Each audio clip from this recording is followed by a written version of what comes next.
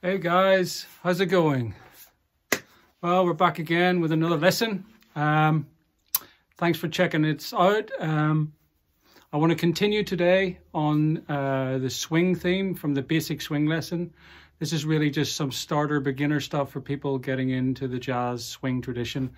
And it's coming out of Keith Copeland's book, uh, the wonderful drummer teacher Keith Copeland, who I was lucky enough to study with. Um, Today I want to continue. The first lesson was looking at this crotchet triplet across the cymbal and I showed you a little hack of how that can help you.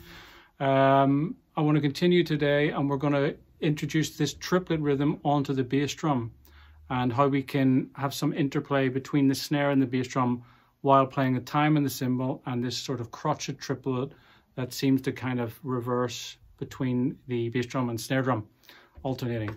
Um, so let's get right to it. Okay, so in the first lesson, we were playing this.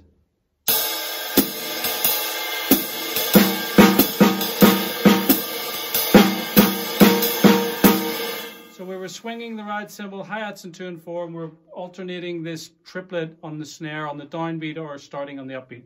And the whole time we were playing the bass drum on the four crotchet beats, sounding like this, two, Okay,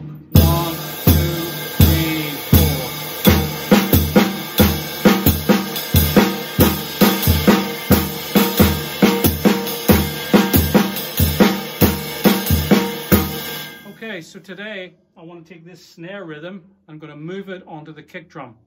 So it should sound like this.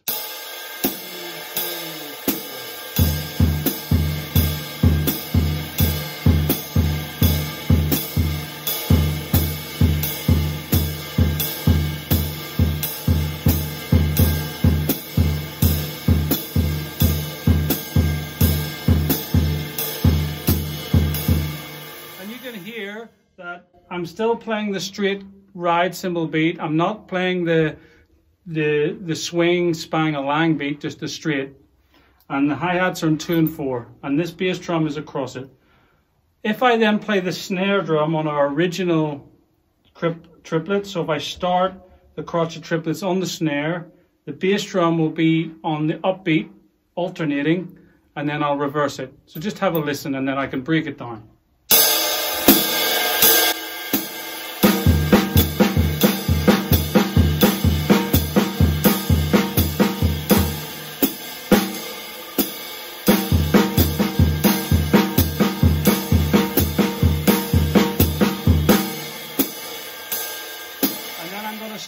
Bass drum starting the rhythm and the snare on the on the alternating side, the upbeat. So we're flipping it. Here we go. Two, three, four.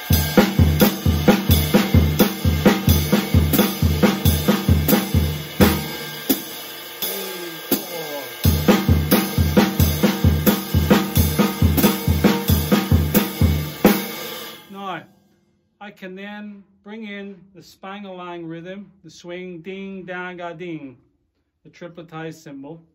And I'm going to alternate between those two, but I'm not going to stop. What I'm going to do is play a double on the snare to flip it, or a double on the bass drum to flip it the other way. So check this out.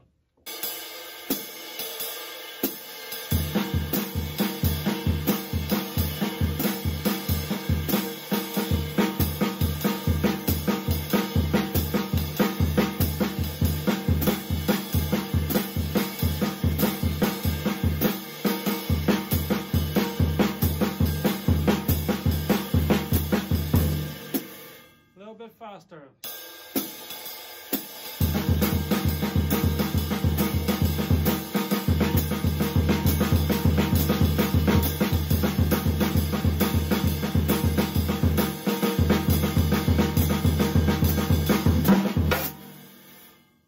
Play those phrases with some gaps. So I'm going to keep the phrase going in my head, but I'm going to leave a little space in between now and again. Just listen to this. I'm kind of improvising now but still keeping the time and the cymbal.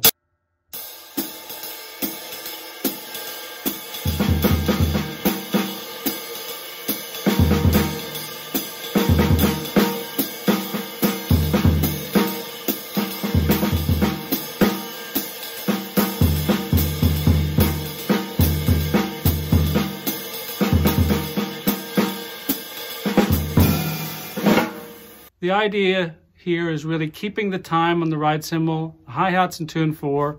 We're still playing the tripletized ding, da, ga, ding, spang-a-lang rhythm. And then underneath on the snare and the bass drum, we're either playing starting on the snare and the low sound on the kick, playing this triplet, and then we're reversing it while keeping the time. You should really try and play the snare drum quite quietly. Not, you know, you don't want to be hitting it too hard. It's really uh, work on your dynamics. I mean, I mean, changing the bass drum and the snare drum and reversing it. You can also orchestrate this around the drum kit, which I'll show you now, where you move your left hand around the toms and the snare while you're keeping the cymbal. And this is another way of helping open up the sounds. Um, it's a quite a hypnotic meditative rhythm when you get into this. It can be used for soloing or just fills or expressing yourself in this music, but still working on the exercise. So I'm going to get back to the kit here and show you this now. Okay, so we're still playing this exercise. All I'm doing now is I'm going to move my hand around, okay? And I'm actually going to turn the snare off so you get a dry rhythm. Better to hear this.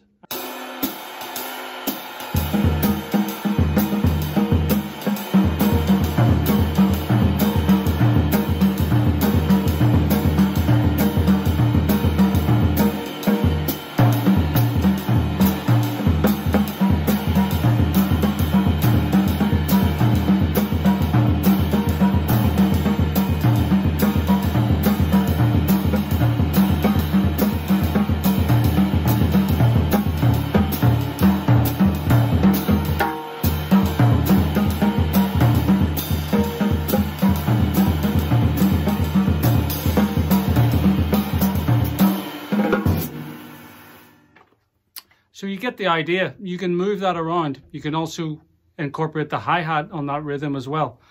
Mixing and matching it around and, and having a lot of fun with that. Okay, so if you haven't watched the basic swing video, go back and watch that. And this is a progression from that. And I hope you get something out of it. Um, on the next lesson, we will take it a bit further and we'll be using uh, the quaver triplet because at the minute we're still just sticking with the crotchet triplet. So it's about playing time and playing this crotchet triplet across it. And Keith believed this was a really uh, good way to open up your independence, independence in terms of each limb playing rhythms and really uh, pulling that sort of um, swing beat apart and, and, and feeling it in a, in a different way. So uh, hope you got something out of it. Thanks. See you next time.